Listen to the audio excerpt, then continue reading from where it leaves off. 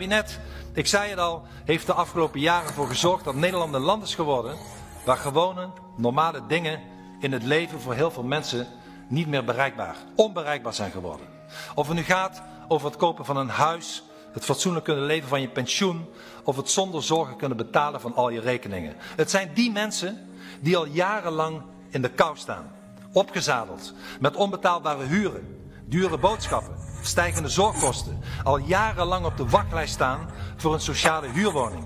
Alleen al dit jaar gaat de energierekening met honderden euro's omhoog. Het pensioen van heel veel ouderen is al jarenlang niet meer geïndexeerd. En ook nu krijgen ze er geen cent bij. Voorzitter, het is een grove schande hoe er met deze mensen, onze mensen, wordt omgegaan. En voor al die mensen is de sociale zekerheid weggegeven en de zorg verschaald. En deze mensen leven ook niet achter de veilige hoge hekken van de villa's in Wassenaar of Aardenhout, maar in de gewone wijken en steden en dorpen van Almere tot Spijkenisse. Zij kunnen niet wegduiken voor de gevaren van de massa-immigratie en de onveiligheid in een wijk of straat. En het zijn deze mensen, mevrouw de voorzitter. Precies deze mensen waar de PVV altijd voor heeft gestaan en voor zal blijven staan. En deze mensen verdienen een beter leven. En dat betekent ook dat ze meer koopkracht verdienen. Miljoenen Nederlanders profiteren volgend jaar opnieuw niet mee met de economische groei. Dit jaar is die 4%, volgend jaar is die 3,5%. Terwijl de koopkracht niet of nauwelijks groeit. Voorzitter, het is toch niet te geloven dat Rutte dit jaar 45 miljard Nederlandse euro's overmaakt aan landen als Italië, Spanje en Portugal. En dat ze daar met ons geld de belastingen wel verlagen. Met ons geld. Meneer Rutte, wie vertegenwoordigt u eigenlijk? De Nederlander al lang niet meer. Het is ook niet te geloven dat u in deze tijd 7 miljard voor klimaat uitgeeft. Voorzitter, mijn fractie, de PVV, wil dat anders doen. Wij stellen voor die 7 miljard die het kabinet aan klimaat besteedt volgend jaar te besteden aan lagere huren, een lagere energierekening en een lager eigen risico in de zorg. En ik wil ook dat het kabinet de rekenrente aanpast, zodat de pensioenen eindelijk weer een keer volgend jaar kunnen worden geïndexeerd. Dat is een ereplicht aan al die ouderen die ons land hebben opgebouwd voordat Rutte en Kaag het gingen afbreken.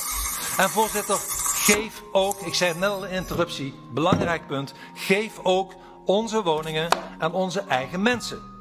Iedere dag krijgen wij zoveel berichten van wanhopige mensen, jong en oud, door het hele land, die maar geen woning kunnen krijgen. Het is niet te geloven. En ik wil kort, mevrouw de voorzitter, een van die berichten van de mevrouw uit Amsterdam voorlezen. Ik citeer. Een statushouder bij mij hier in de flat krijgt een compleet ingerichte woning en haalde binnen een half jaar vrouw en kinderen hierheen. Hij rijdt inmiddels in een dikke Audi en zijn vrouw is zwanger van de derde. Maar mijn zoon, mijn zoon staat al 11 jaar op de wachtlijst op plek 262 van de 750.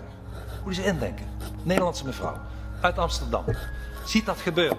Iemand komt binnen, rijdt een dikke auto, krijgt meteen een gemurmuleerde woning en haar zoon staat op plek nummer 262 van de wachtlijst. Voorzitter, statushouders hoeven niet eindeloos op die wachtlijst te staan. Ze krijgen massaal voorrang. De afgelopen tien jaar zijn er meer dan 120.000 woningen door Rutte weggegeven aan asielzoekers met voorrang. En daar hadden natuurlijk 120.000 Nederlandse gezinnen in moeten wonen. Maar nee, voorzitter, Rutte vertroetelt liever Syriërs en Afghanen met gratis woningen dan onze eigen mensen die hun hele leven lang al belastingen en premies hebben betaald. Een fatsoenlijk dak boven hun hoofd krijgen ze niet. Onze eigen mensen worden hier gewoon verraden. En dan lees je voorzitter in de krant, vorige week of wat was het, de week daarvoor, dat een gezin uit Irak en een gezin uit Jemen prachtige, aangeboden vierkamerwoningen weigeren omdat ze niet groot genoeg zijn. Ze weigeren gewoon de woningen die ze met voorraad krijgen. Nederlanders staan op de wachtlijst